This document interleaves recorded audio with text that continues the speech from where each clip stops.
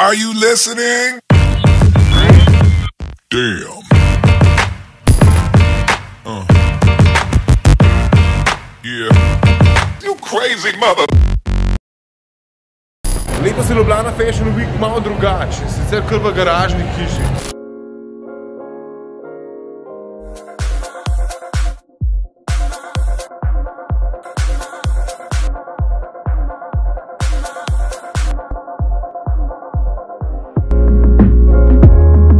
City Magazine je sponzor Ljubljana Fashion Weeka. Poanta Fashion Weeka je, da so relativno dostopni vsem in da so v stiku z mestom. In to je, mislim, da ustvarjalcev Ljubljana Fashion Weeka tokrat čiza res ratam. Takole tukaj zadnje je pa pista, sem garažna pista.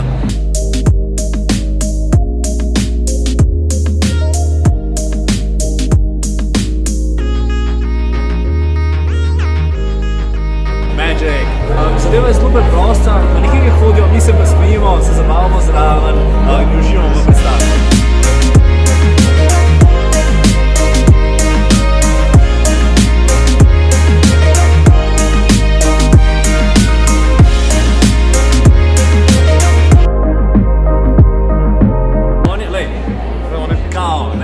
Magazin, urednik, CEO, entrepreneur, pa vidiš Crazy mother.